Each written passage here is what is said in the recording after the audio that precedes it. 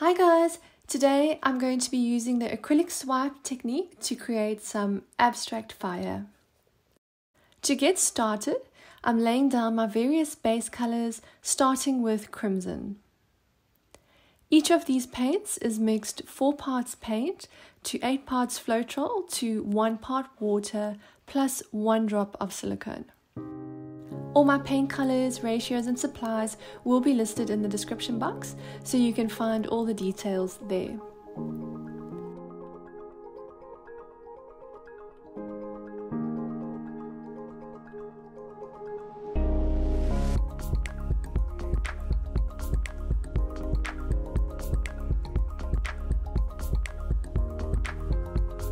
This is ivory black it's mixed one part paint to two parts Floetrol and it doesn't contain any silicone. This paint is a thicker consistency than the paint already on the canvas.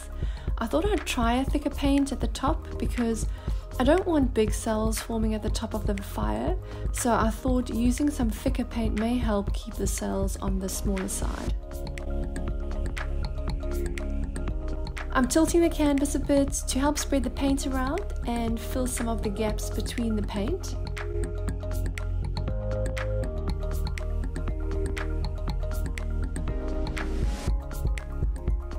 Okay, now we're ready to get started with the swipe. The color that I'm going to swipe with is ivory black, which is mixed 4 parts paint to 8 parts Floetrol to 3 parts water.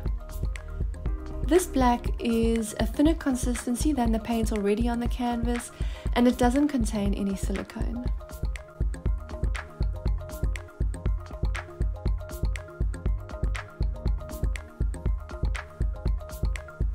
I'm using a palette knife to swipe the black over the other colors. And I'm just doing it in a wavy shape to create the look of flames.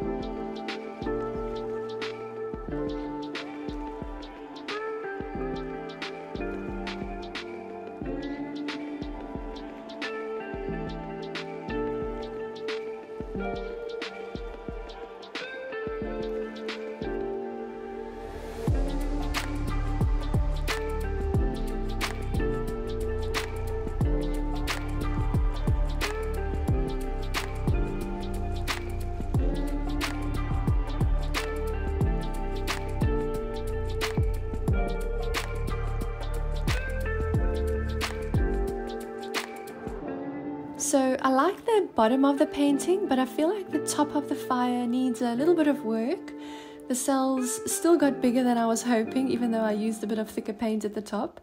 So I'm going to let this dry and then I'm going to come back and tweak the painting a little bit. The painting has dried, it's already been about a week, and now I'm just going to use ivory black to paint around the tip of the flames to get the flames to look a little bit more like what I was aiming for. and I'm just going to work with the existing shapes and patterns that we've got going on here and just try to enhance them a little bit to and just try to enhance them a little bit.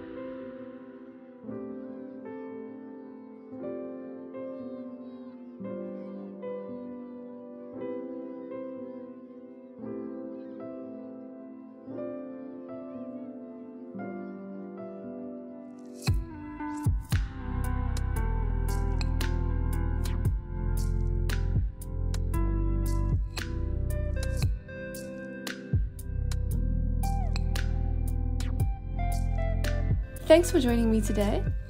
If you'd like to see more tutorials like this, please don't forget to like, subscribe, and hit the notification bell. And I look forward to seeing you again next time.